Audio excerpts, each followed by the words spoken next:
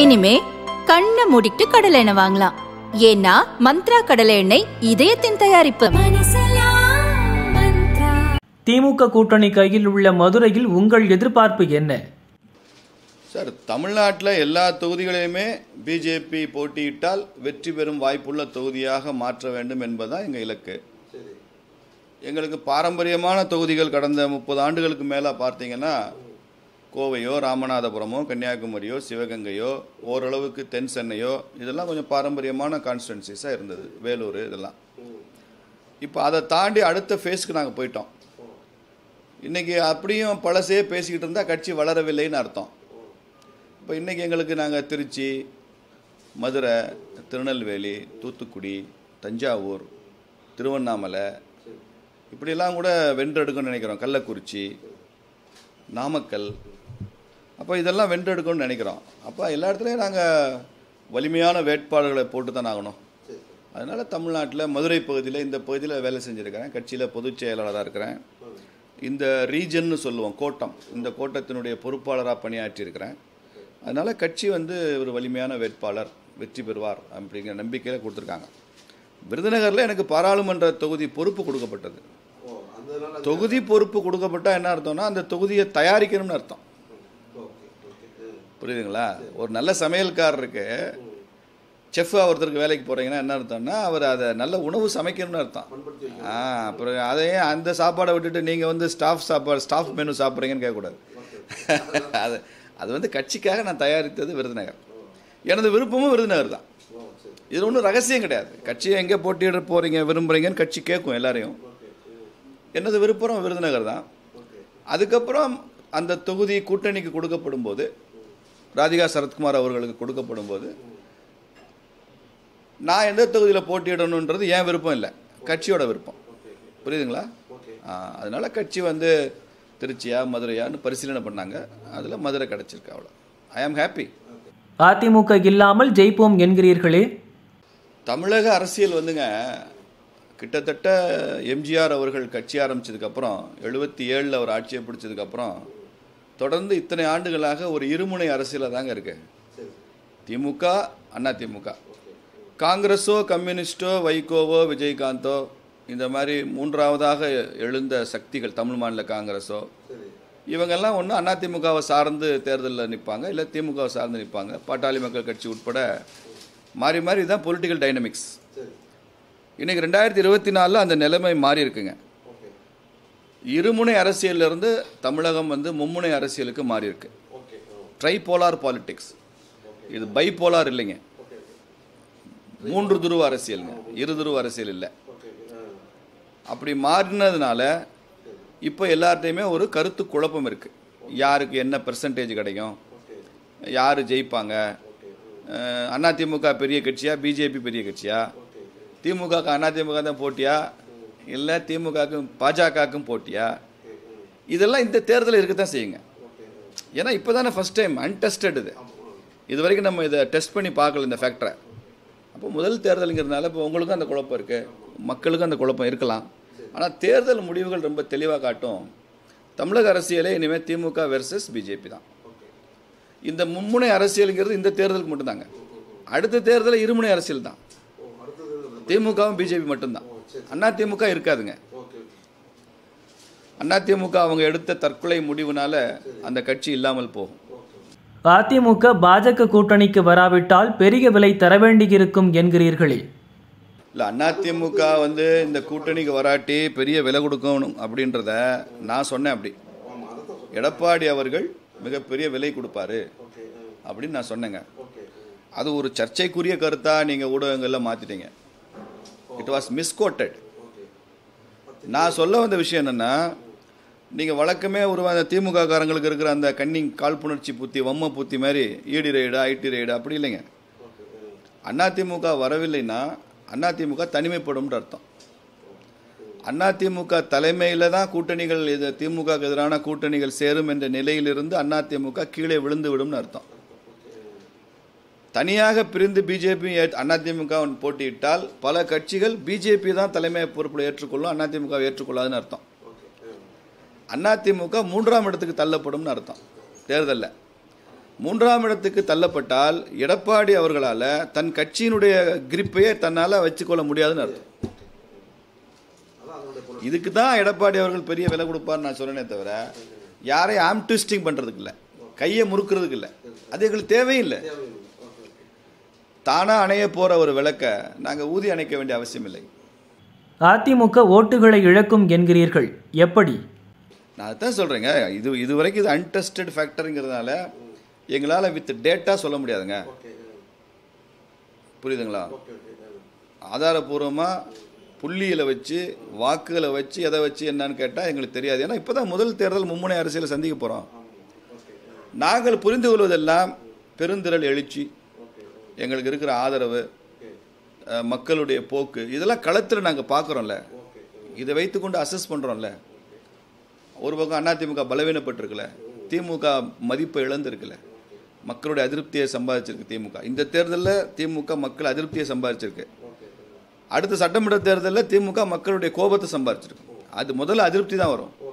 அப்புறம் தான் அது கோபமாக மாறும். அடுத்த தேர்தலில் கோபம் தான் கோபம் வரும்போது நாங்கள் ஸ்வீப்பு அதிருப்தி வரும்போது நாங்கள் கணிசமான இடங்களை பெற்று வெல்லுவோம். கோபம் வந்துட்டா ஸ்வீப் ஆயிடுவாங்க. அதிமுக விலகியது மகிழ்ச்சி என அண்ணாமலை சொன்னதை பாஜகவினர் ஏற்கிறார்களா? அண்ணாமலை அவர்கள் எப்போதுமே அதிமுக விலகுனதில் மகிழ்ச்சினோ எடப்பாடி வராது எங்களுக்கு சந்தோஷம்னு எங்கேயும் பேசவில்லை.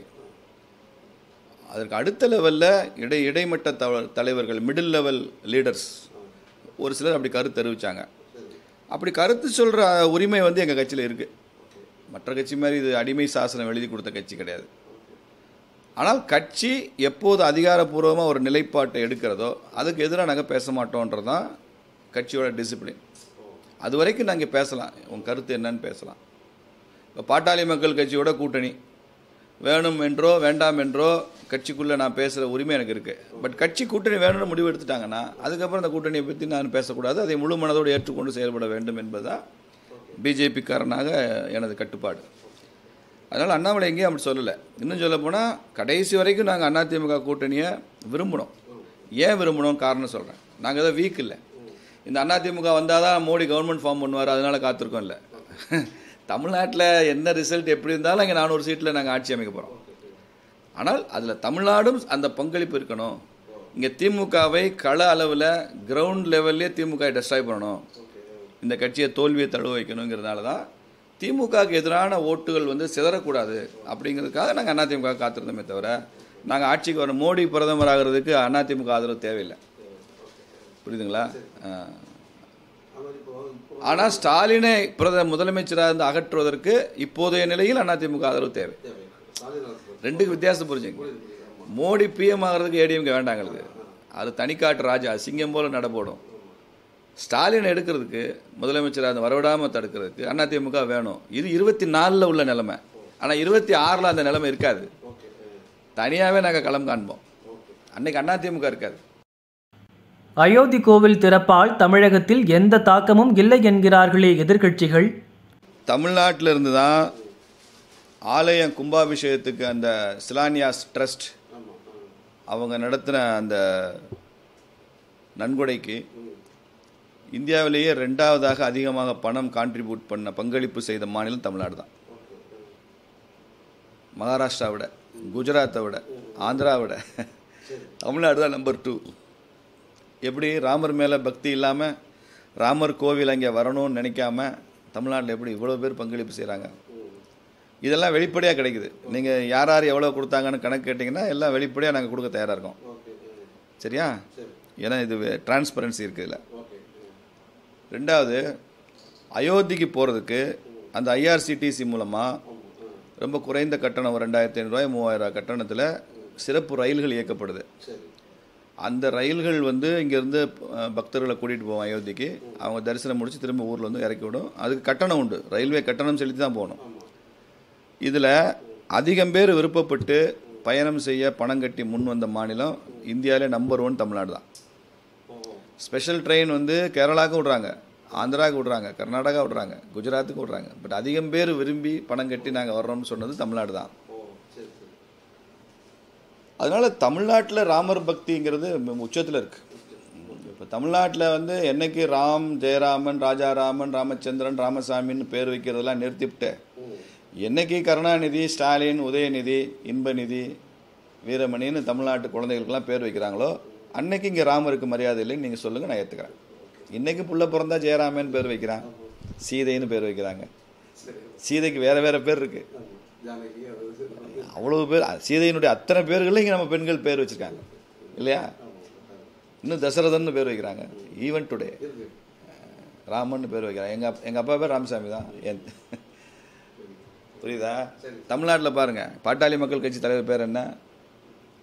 ராமதாஸ். அதிமுக நிறுவனர் தலைவர் பேர் என்ன? MG MG Ramachandran.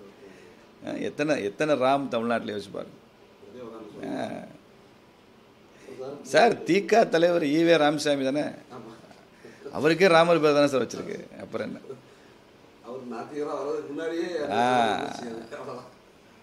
மிஸ்டர் இருபத்தெட்டு பைசா என மோடியை உதயநிதி சொல்கிறாரே. ஏன் தமிழ்நாடு இந்தியாவில் இல்லையா? அப்போ நீங்கள் சென்னைக்கு என்ன பண்ணீங்கன்னு சொல்லிட்டு மதுரையில் ஓட்டு கேட்டால் உங்களுக்கு கிடைக்குமா? ஸ்டாலின் மதுரைக்கு என்ன பண்ணேன்னு சொல்லிட்டு ஓட்டு கேட்குறாரு ஒட்டுமொத்த தமிழனுக்கான தான் ஓட்டு கேட்குறாரு திருநெல்வேலியில் வந்து திருநெல்வேலிக்கு என்ன பண்ணணும்னு சொல்லி மட்டும் ஓட்டு கேட்க முடியுமா? அதே மாதிரி தான் சார் இது இப்போ தேசம் பெரிது. காஷ்மீர் முதல் கன்னியாகுமரி வரை மூவாயிரம் கிலோமீட்டர் நீள அகலம் கொண்ட ஒரு நாடு.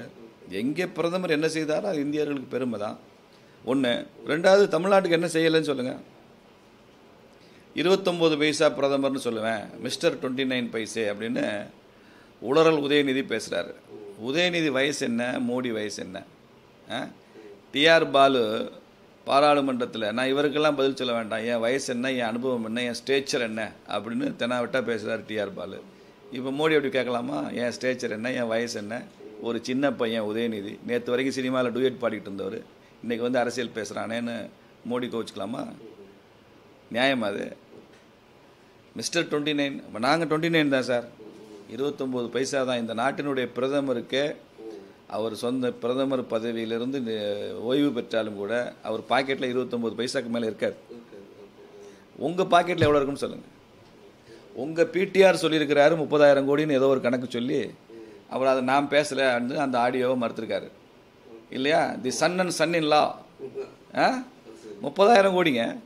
நிச்சயம் நாங்கள் முப்பதாயிரம் கோடி இல்லைங்க. நாங்கள் இருபத்தொம்போது பைசா தாங்க. மேகதாது அணை கட்ட கர்நாடக பாஜக ஆதரவு தருகிறது.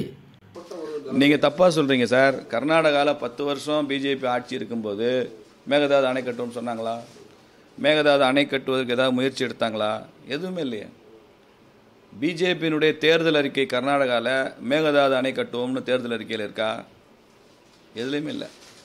ஆனால் போன தேர்தலில் கர்நாடகா காங்கிரஸ் மேகதாது அணை கட்டுவோம்னு தேர்தல் அறிக்கையில் சொல்லியிருக்காங்க. அது தமிழர் நலனுக்கு எதிரானதா உகந்ததா? அந்த இடத்துக்கு போய் ஸ்டாலின் பிரச்சாரம் பண்ணியிருக்காரு. அந்த கட்சிக்கு ஆதரவு தெரிவிக்கிறாரு. எங்க மேகதாது அணை கட்டுவோம்னு தேர்தல் அறிக்கையில் வெளியிட்ட கட்சி மேகதாது அணை கட்டுவதற்கு நிதி ஒதுக்கீடு செய்த கட்சி அதை செஞ்சே தீருவோம்னு சொல்லி தமிழர் நலனுக்கு எதிராக இருக்கிற கட்சிக்கு ஆதரவாக இந்த தமிழ்நாடு முதலமைச்சர் பேசுகிறாரு அந்த ஊருக்கு போகிறாரு அவங்களுக்கு பிரச்சாரம் பண்ணுறாரு பத்து வருஷமா ஆட்சியில இருந்து மேகதாதுவை பற்றியே பேசாத அது தமிழர் நலனுக்கு எதிராக எதுவும் செய்ய மாட்டோம்னு சொன்ன பிஜேபியை நீங்கள் தமிழர் நலனுக்கு எதிர்ன்னு பேசுகிறீங்க கொஞ்சம் வெக்கப்படுங்க சார். இவ்வளவு பொய் சொல்கிறமேன்னு நீங்கள் ராத்திரி படுக்க போகிறப்ப ஸ்டாலின் என்ன செய்யும் தெரியுமா? ஒவ்வொரு நாளும் அவர் எண்ணி பார்க்கணும். இன்றைக்கி எத்தனை பொய் சொன்னோம்? அஃப்கோர்ஸ் அதுக்கு ஒரு கால்குலேட்டர் கூட தேவைப்படும். அவரால் நினச்சி பார்க்க முடியாத அளவு பொய் சொல்கிறாரு கால்குலேட்டராக வச்சுக்கோங்க. ஈஸியாக உங்களால் கணக்கு தெரியாது உங்களுக்கு. கணக்கு தெரியிற அளவுக்கு நீங்கள் படிக்கலை. கால்குலேட்டர் வச்சுக்கிட்டா அது எத்தனை பொய் சொல்கிறீங்கன்னு கணக்கு பார்த்துட்டா தூங்க. ஒவ்வொரு நாளும் அந்த பொய்கள் எண்ணிக்கையாவது குறைக்க பாருங்கள் தமிழ்நாட்டுக்கு இது என்ன திட்டம் கொண்டு வரல? தமிழ்நாடு முதலமைச்சரும் ஸ்டாலின் அவர்களை சொல்கிறேன் பிரதமரும் மாத்திரம் சேர்ந்து இந்த மூன்று ஆண்டுகளில் எத்தனை பொது மேடைகளில் பேசியிருக்காங்க. அது எல்லாமே தமிழ்நாட்டுக்கான திட்டங்கள் திறப்போடாதானே? இல்லைன்னா எதுக்கு சார் ஸ்டாலின் இப்போ பிரதமர் பேசுகிற மேடைக்கு ஏன் சார் ஸ்டாலின் போகிறாரு தமிழ்நாட்டில் ஏன் பன்னெண்டு மருத்துவக் கல்லூரிகளை முதல்வரை முதல்வர் வந்து ஐயா மோடி அவர்களை வச்சு ஏன் திறந்து வச்சார்? அது சென்ட்ரல் கவர்மெண்ட் ஃபண்டிங் தானே திறந்து வச்சாரு. நீங்கள் முழுக்க முழுக்க ஸ்டேட் ஃபண்டாக இருந்தால் நீங்களும் திறந்துருக்க வேண்டிய எதுக்கு மோடியை கூப்பிட்றீங்க? கரெக்டா சென்னையில் இன்று முப்பதாயிரம் முப்பத்தி ரெண்டாயிரம் கோடிக்கான திட்டங்களை நாட்டுக்கு அர்ப்பணிப்பதற்கு பாரத பிரதமர் மோடி அவர்கள் வந்திருக்கிறார்கள். சொன்னவர் யார்? நான் சொல்லலை. ஸ்டாலின் சொன்னார். பிரதமரை அறிமுகப்படுத்தி வரவேற்று பேசும்போது இன்று தமிழகத்திற்கு முப்பத்தி ரெண்டாயிரம் கோடி திட்டங்களை அர்ப்பணிக்கிறதுக்கு வந்திருக்காருன்னு சொன்னார்ல. சரி போன மாதம் தூத்துக்குடிக்கு எதுக்கு வந்தார் மோடி? பதினேழாயிரம் கோடிக்கு அவுட்டர் ஹார்பர் தூத்துக்குடி எங்கே சார் இருக்குது ஸ்ரீலங்காவில் இருக்கா? நீங்கள் ஏன் பத்து வருஷம் ஆட்சியில் இருந்து ஏன் பண்ணலை? உங்கள் டிஆர் பாலு தானே சர்ஃபேஸ் டிரான்ஸ்போர்ட் மினிஸ்டர் இருந்தார். துறைமுகத்துக்கு அவர் தானே சார் அமைச்சர். ஏன் பண்ணலை? மோடி வந்து தானே அவுட்டர் ஹார்பர் கொண்டு வராரு. மோடி வந்து தானே ராக்கெட் லான்ச்சர் ஸ்டேஷன் கொண்டு வராரு. மோடி வந்து தானே எல்லா தென் மாவட்டங்கள்லையும் எல்லா மாவட்டங்களையும் மருத்துவக் கல்லூரி கொண்டு வராரு. மோடி தானே பன்னெண்டு மாநகராட்சிக்கும் ஸ்மார்ட் சிட்டி கொண்டு வந்தார். இன்றைக்கும் தமிழ்நாட்டினுடைய ரேஷன் கடைகளில் ஒவ்வொரு குடிமகனுக்கும் ஒவ்வொரு தமிழனுக்கும் அஞ்சு கிலோ அரிசி பருப்பு கொடுக்கறது மத்திய அரசா மாநில அரசா? சொல்லுங்கள் சார். மத்திய அரசு தானே சார் ரேஷன் கொடுக்குது உங்களுக்கு? அப்புறம்? அப்புறம்? அப்புறம்? இதெல்லாம் சொல்லுங்க மக்கள்கிட்ட. பொய் சொல்லாதீங்க சார். உண்மையை சொல்லி எங்களை ஜெயிங்க. எங்களை எங்களை வெல்ல பாருங்க. பொய் சொல்லி வெல்லாதீங்க. தப்பு அதெல்லாம். தமிழகத்தில் கோவில்கள் விஷயத்தில் அவுரங்கசீப் காலத்தில் நடக்காதது கூட நடப்பதாக சொல்வது சரியா? இதை நீங்கள் அப்படி மாத்திரம் பார்க்கக்கூடாதுங்க. தமிழ்நாட்டில் எத்தனை கோவில்கள் பட்டியல் இருந்துச்சு? அறுபத்தி ஏழில் கழக ஆட்சியில் வந்ததுக்கப்புறம் எவ்வளோ கோயில்கள் இருக்குது எத்தனை கோயில்களில் தமிழ்நாட்டில் தேரோட்டம் நடந்தது? இன்றைக்கி எத்தனை நடக்குது? எத்தனை கோயில்களில் தேர் இருந்தது முதல்ல. தேரோட்டம் நடக்கிறது அப்புறம். தேர் வந்து எத்தனை கோயில்களில் இருந்தது? ஒரு ஐம்பது வருஷமாக கணக்கு பண்ணுங்கள் இன்றைக்கி எத்தனை கோயில்களில் தேர் இருக்குது தேரே இல்லைங்க. திருவண்ணாமலையில் ஒருத்தர் ஆர்டிஐ கேட்டு வாங்கியிருக்காரு. திருவண்ணாமலை சுற்றி நிறைய அந்த கிரிவல பாதையில் சின்ன சின்ன கோவில்கள் நூற்றுக்கணக்கில் இருக்குது இல்லை கோவில்கள். நாலு கோயிலை காணாமன்னு ஆர்டிஐயில் பதில் கொடுத்துருக்காங்க. கோயிலை காணாமல் எங்கே என்னன்னு போனீங்கன்னா உள்ளே போனீங்கன்னா ஆக்கிரமிப்பாக இருக்கும். எனக்கு அந்த கோயில்கள் பேர் நினைவில் இல்லை. தேர்கள் இல்லை. தமிழ்நாட்டில் இருந்து மாத்திரம் எத்தனை சிலைகள் திருடு போயிருக்கு? யாருடைய ஆட்சி காலத்தில்? அறுபத்தி ஏழுக்கு முன்னாலேயா பின்னாலேயா? நீங்கள் சொல்லுங்கள் நான் எனக்கு தெரியாது. நீங்கள் சொல்லுங்கள் அறுபத்தி ஏழுக்கு அப்புறம் எத்தனை சிலைகள் காணாம போயிருக்கு? ஆமாம் அதில் எத்தனை சிலைகளை மோடி ஐயா மீட்டு கொண்டு வந்திருக்காரு? அதையும் சொல்லுங்கள் சிலைகள் திருடு போனது எந்த ஆட்சி? சிலைகளை மீட்டு கொண்டு தமிழ்நாட்டை ஒப்படைத்தது எந்த ஆட்சி? ரெண்டையும் சொல்லுங்கள் எவ்வளோ பிரம்மாண்டமான சிவன் சிவன் சிலைகளை வந்து வெளிநாட்டு சுற்றுப்பயணத்தின் போது இந்திய அரசு அதை கோரி பெற்று அது எங்கள் நாட்டு பொக்கிஷம். அது இங்கே திருடப்பட்டோ கடத்தி வரப்பட்டோ ஏதோ ஒன்று உங்கள் உங்கள் நாட்டில் இருக்குது அதை திரும்பி கொடுங்கன்னு கேட்டு வாங்கி தமிழ்நாட்டுக்கு மாத்திரம் எத்தனை தெய்வ திருமேனிகளை கொடுத்துருக்கிறார் நரேந்திர மோடி? என்ன இருக்குது கோயிலை பற்றி உங்கள் சென்டிமெண்ட் என்ன? கோயிலை உண்டியல் வச்சது யார்? கோயிலில் கட்டணம் போடுறது யார்? ஏன் கட்டணம் கேட்குறீங்க கோயிலில்? மக்கள் மக்கள் வந்து கடவுளை தரிசனம் பண்ணுறதுக்கு கட்டணம் எதுக்கு விஐபி தரிசனம் எதுக்கு கோயிலில்? அர்ச்சனைக்கு கட்டணம் முட்டை போட்டால் கட்டணம். இப்போ ராமேஸ்வரம் கடலில் சிரார்த்தம் பண்ணால் கட்டணம் சொன்ன கடலில் போய் சிரார்த்தம் பண்ணுறதுக்கு ஏன் சார் உங்களுக்கு கட்டணம் தர்றோம் கடல் என்ன உங்கள் அப்பையும் விட்டு சொத்தா? அக்னி தீர்த்தம் தானே அது? அக்னி தீர்த்தம்னா உங்கள் அப்பா சொத்தா உதயநிதி கேட்குறது வந்து அவங்க அப்பா விட்டு சொத்தானே ராமேஸ்வரம் கடல் உங்கள் அப்பா விட்டு சொத்தா? என்ன sir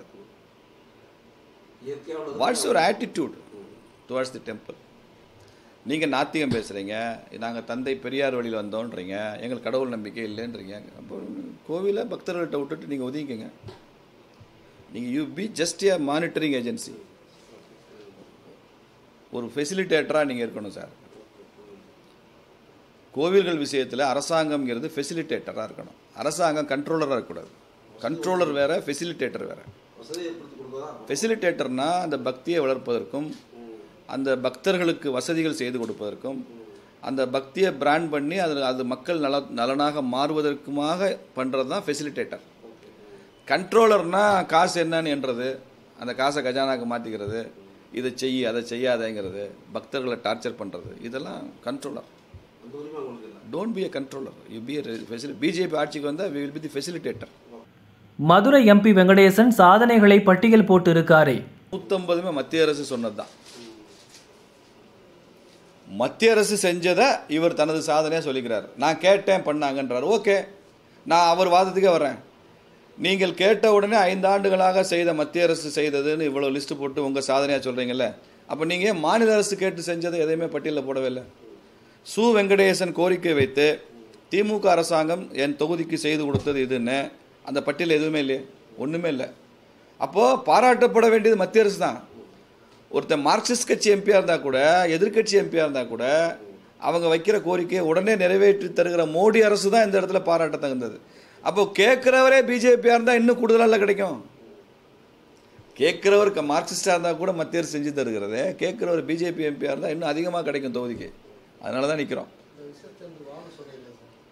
சரி? மத்திய அரசு வைக்கிறார்ல மாநில அரசு ஊழியர்களுக்கு பழைய மாதிரி பென்ஷன் தருவோம்னு சொன்னீங்கல்ல தேர்தல் அறிக்கை திமுக தேர்தல் அறிக்கையில்? ஒட்டுமொத்த அரசு ஊழியர்களுடைய ஏகபோக பிரதிநிதி பிரதிநிதி வந்து வெங்கடேசன் தானே? வாங்கிக்க ஏன் வாங்கி தரல? கோரிக்கை நீங்கள் வச்சிங்கல்ல?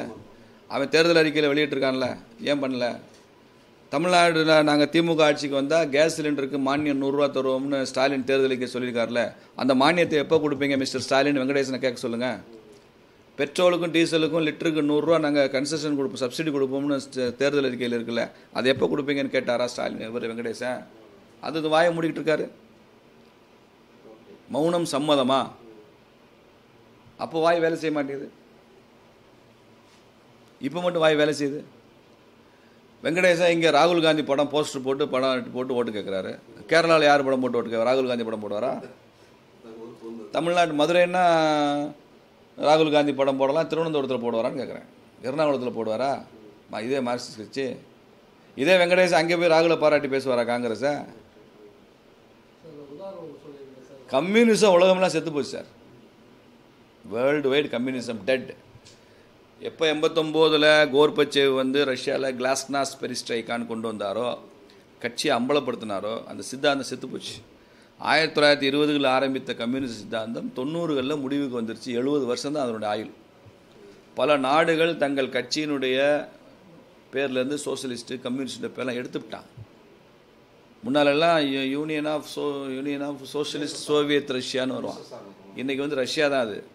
சோவியத்தும் இல்லை சோசியலிஸ்ட் ரஷ்யாவும் இல்லை. வெறும் ரஷ்யா தான் இன்றைக்கி பேரே. அதிகாரப்பூர்வமாகவே இந்த கண்ட்ரி வந்து ரஷ்யா தான். ரஷ்யாவிலிருந்து பிரிந்து சென்ற எந்த நாடும் தங்கள் நாட்டின் பேரில் சோஷலிஸ்ட் வார்த்தையை வைத்துக்கொள்ளலை அது அர்மீனியாவாக இருந்தாலும் சரி அஜர்பைஜானாவாக இருந்தாலும் சரி யாருமே சோஷலிஸ்ட் பேரை வச்சுக்கல. முன்னால் எல்லா நாடும் சோசியலிஸ்ட். புரியுதா? ரஷ்யாவில் ஸ்டாலின் சிலையை உடச்சிருச்சிட்டான் மக்களை. நான் சொல்கிறது ரஷ்ய ஸ்டாலின். லெனின் புணத்தை வச்சுருக்கான் அன்னைக்கு தெரியுமா உங்களுக்கு? லெனின் இறந்து எத்தனை வருஷம் ஆச்சு? இவன் இவ்வளோ பேசுகிறானே பகுத்தறிவு கம்யூனிஸ்ட்காரன். ஒருத்தர் செத்து போனாங்க. செத்து போனோன்னு நம்ம எரிச்சிடுறோம். இல்லை புதைச்சிடுறோம். உலகமெல்லாம் அதுதான் இந்துக்கள் எரிக்கிறாங்க. சிலர் பேர் புதைக்கிறோம். இவன் இன்னும் லெனினோட உடம்ப பாடம் பண்ணி வச்சுக்கிறாங்க சார். இன்னும் லெனின் எரிக்கப்படவும் இல்லை பு- புதைக்கப்படவும் இல்லை. தெரியுமா உங்களுக்கு? அந்த காலத்தில் பிரமிடு வச்சிருப்பான்ல டம்மி. இது என்ன சார் சோசியலிசம்? இது. என்ன சோசி அப்போ எல்லாரையும் விட லெனின் உயர்ந்தவரா? சோசியலிசம்னா எல்லாரும் சமம்ன்றதானே சோசியலிசம்? அது எத்தனை நூ நூறு வருஷத்துக்கு முன்னால் செத்து போன ஒரு பணத்தை வச்சுட்டு அழுதுட்டு இருக்கிற கம்யூனிஸ்ட் கட்சி கம்யூனிஸ்ட் சித்தாந்தமே பணம். அதுக்கு எத்தனை டாலர் செலவழிக்கிறாங்க அந்த லெனின் உடம்பை பாதுகாத்துக்கிறதுக்குன்னு விவரமாக ஒருத்தர் பெரிய ஆர்டிக்கல் எழுதியிருக்கார். அவ்வளோ மக்கள் பணத்தை இந்த லெனின் பணத்தை காப்பாற்றுறதுக்கு செலவழிச்சிட்ருக்காங்க அரசாங்கம். எங்கேயாவது ஒரு ஊருக்கு சிலை தான் வைக்கிறான். இங்கே யாராக இருந்தாலும் அட்லீஸ்ட் கரை கலைஞராக இருந்தாலும் எரிச்சிடுறான். எம்ஜிஆராக இருந்தாலும் எரிச்சிடுறான். தகனம் பண்ணிடுறோம். உரிய மரியாதையோடு பண்ணுறோம் அதுக்கப்புறம் அவங்களுக்கு செலவு வைக்கிறோம் வழிபாடு பண்ணுறோம் அதெல்லாம் வேறு. பணத்தை வச்சுட்டு அழுகிறது கம்யூனிஸ்ட் கட்சி தான். அதனால் அது எல்லாமே டெட் ஃபிலாசபி அது முடிஞ்சு போச்சு. இந்த பாம்பு என்ன செய்யும்? தலை தலையை நசுக்கி அடித்து காலி பண்ணிட்டா கூட வால் மட்டும் ரொம்ப நேரம் ஆடிக்கிட்டே இருக்குமா? அது மாதிரி உலகமெல்லாம் கம்யூனிசம் போனால் கூட மதுரையில் மட்டும் கொஞ்சம் ஆடிட்டு இருக்கு. தமிழ்நாட்டில் மட்டும் கொஞ்சம் கொஞ்சம் ஆடுது. அதனால் அந்த சவப்பெட்டியில் கடைசி ஆணி மதுரையில் அடிப்போம்னு சொல்லியிருக்கோம். அப்போ தான் நம்ம நண்பர்கள் கேட்டாங்க ஆணி அடிக்கிறதுக்கு சுத்தியல் வேணும் என்ன? எதை வச்சு அடிப்பீங்க என்ன? சுத்தியல் அவன் சின்னத்திலே இருக்குது அருவா சுத்தியல் அந்த சுத்தியலை வச்சு அடிச்சிருவோம்னு சொல்லியிருக்கோம் அதனால் இங்கே அடிப்போம் நாங்கள் இதோட எதுவுமே கம்யூனிசம் மதுரையில் இல்லை. மதுரை எய்ம்ஸ் வர தாமதமாவது ஏன்? இப்போ எய்ம்ஸ் டிலே ஆகுது டிலே ஆகுதுன்றதுக்குங்க ஏதாவது ஒரு அர்த்தம் இருக்கான்னு கேட்குறேன் நான். ரெண்டாயிரத்தி பதினாலு வரைக்கும் எய்ம்ஸ் டெல்லியில் மட்டும் தான் இருந்துச்சு. டெல்லிக்கு வெளியில் எய்ம்ஸ்ன்ற வார்த்தை நீங்கள் அதை கேட்டிருக்கீங்களா பத்திரிகையில்? இல்லை இல்லை அப்போ டெல்லிக்கு வெளியில் மற்ற மாநிலம் எய்ம்ஸ் வரணும்னு முடிவெடுத்தது எந்த அரசாங்கம்? பிஜேபி அரசாங்கம் தான். நரேந்திர மோடி அரசாங்கம் தானே? அதைத்தான் சார் சொல்கிறேன் நான் என் கேள்விக்கு முதல்ல பதில் சொல்லுங்கள் திமுக பத்து வருஷம் மத்தியில் கவர்மெண்ட்டில் இருந்து இல்லை. நீங்கள் தமிழ்நாட்டுக்கு எய்ம்ஸ் கொண்டு வரல? இல்லை டெல்லியை விட்டு வெளியில் எய்ம்ஸ் வரணும்னு நீங்கள் ஏன் நினைக்கல? எந்த ஸ்டேட்டில் நீங்கள் எய்ம்ஸ் கொடுக்கல? தமிழ்நாடு உட்பட ஏன் கொடுக்கல? சொல்லுங்கள் சொல்லுங்கள் சார் வரல இல்லை. பேச்சளவு கூட இல்லைங்க. அந்த கொள்கை ரீதியாக அந்த முடிவெடுத்ததே ஃபோர்டீனில் தான். ஃபோர்டீனில் தான் முடிவெடுத்தாங்க. அதுக்கப்புறம் எல்லா ஸ்டேட்லேயும் வந்துச்சு. சரி எய்ம்ஸ் அறிவிச்சாச்சு. தமிழ்நாடு அரசு நிலம் கையகப்படுத்தி கொடுக்கணும்ல. அதுக்கு பணம் மத்திய அரசாங்கம் கொடுத்துரும். பட் லேண்ட் அக்விசிஷன் பண்ணி கொடுக்கணும்.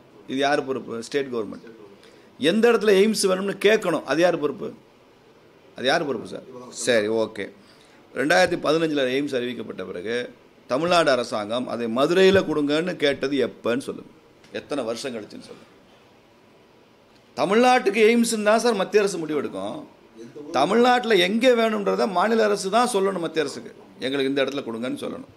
ஒரு நாலஞ்சு இடம் சொல்லணும் அதை பரிந்துரை பண்ணுவாங்க. அது அந்த அந்த இடத்த மதுரையில் வைங்கன்னு எப்போ மாநில அரசு பரிந்துரை பண்ணிச்சு? எத்தனை வருஷம் கழிச்சு? மதுரையில் எப்போ நிலம் கையகப்படுத்தி கொடுத்தீங்க? அப்படியே எல்லாமே டிலே நீங்கள் பண்ணிவிட்டு தமிழ்நாடு அரசாங்கம் பண்ணிவிட்டு அப்போ ஆட்சியில் யார் இருந்தாங்க அதெல்லாம் விடுங்க. But delay from state government அதுக்கப்புறம் நம்ம ஜப்பான் நிறுவனத்தோட ஒப்பந்தம் போடுறோம். ஏன்னா இது பெரிய எய்ம்ஸாக வருது. மற்ற ஸ்டேட்டை விடவும் அதிக படுக்கைகள் அதிக ஆராய்ச்சி அதிக மாணவர் சேர்க்கை. அதனால் சைஸ் பெருசு பட்ஜெட் பெருசு. அப்போ பெருசாக எய்ம் பண்ணுறோம் அதனால் எம்ஓயு சைன் பண்ணுறோம் இன்னொரு தேசத்தோட. உடனே கொரோனா வருது. கொரோனா உலகத்தையே புரட்டி போட்டுச்சு. கொரோனாவில் வந்து உயிர் வாழ்ந்தா போதுன்றதான பிரச்சனை. கட்டடம் வருதா எய்ம்ஸ் வருதான்னு. சாப்பாடு வருதான்னு கூட பல பேர் கவலைப்படல. உயிர் வாழ்ந்தா போதும். பல பேர் வீட்டை பூட்டிட்டு சாப்பாடு ஹோட்டலில் போய் டிஃபன் வாங்கிட்டு வந்தால் கூட எய்ம்ஸ் கொரோனா வந்துருமோன்ட்டு வீட்டுக்குள்ளே இருந்த வயதான பெரியவங்களாம் இருக்காங்க. அதனால அதில் மூணு வருஷம் மூன்றரை வருஷம் போச்சு. இப்போ கட்டட வேலை நடந்துட்டு எல்லாருமே இந்த தி திமுகவில் கொஞ்சம் நிறையா வயசானவங்க இருக்காங்க. அவங்கெல்லாம் திமுக நடத்துகிற மருத்துவமனைகள்லாம் தயவுசெய்து போகாதீங்க. அது எவ்வளோ எவ்வளோ தரத்தோடு இருக்குன்னு தெரியும். எய்ம்ஸ்க்கு வாங்க. நல்ல ட்ரீட்மெண்ட் ரெண்டு வருஷம் கழித்து மோடி ஐயா கொடுப்பாரு. உங்களை நல்லபடியாக குணமாக்கி வீட்டுக்கு அனுப்புறது எங்கள் பொறுப்பு.